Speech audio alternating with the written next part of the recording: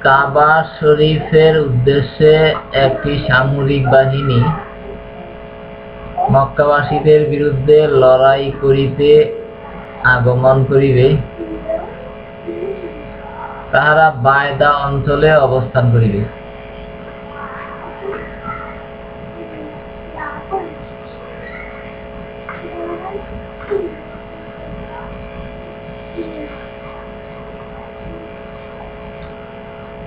Baida joule হুলাইফার নিকটবর্তী একটি স্থানের নাম।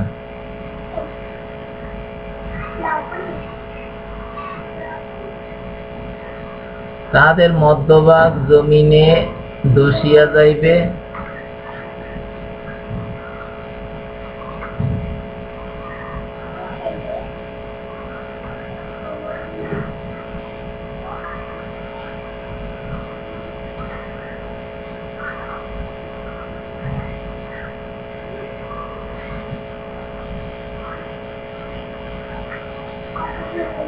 এবং ভূমিধসের সময় তাহাদের অগ্রবর্তী দল পশ্চাৎবর্তী দলকে ডাক দিবে।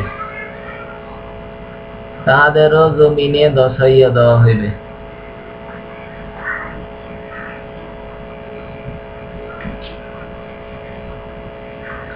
শেষ পর্যন্ত তাদের কেউ অবশিষ্ট থাকিবে না। তবে একজন দূত, তবে একজন দূত রক্ষা পাইবে।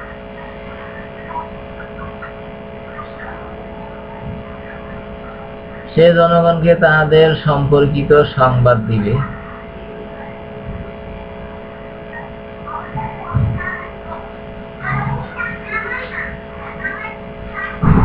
তারপর যখন হাজরাজ ইবনে ইউসুফের বাহিনী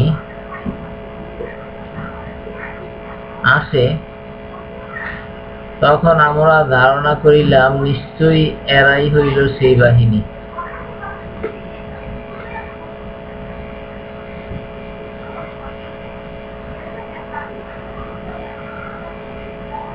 তখন এক ব্যক্তি বলিল,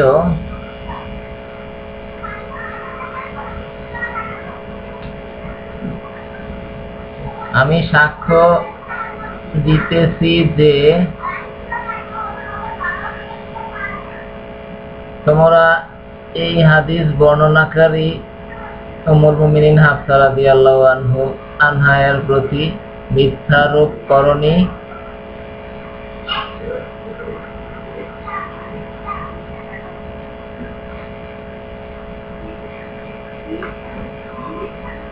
এবং হাফসা রাদিয়াল্লাহু আনহাও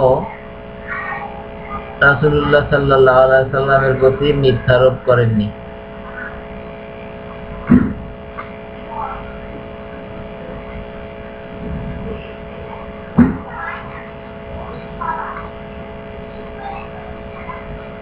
অর্থাৎ আল্লাহ তাআলা হাজরত বিন ইউসুফের বাহিনীকে মাটিতে দশাইয়া দিয়েছিলেন।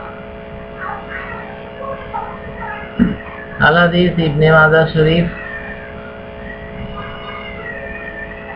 হাদিস নাম্বার চার হাজার তেষট্টি।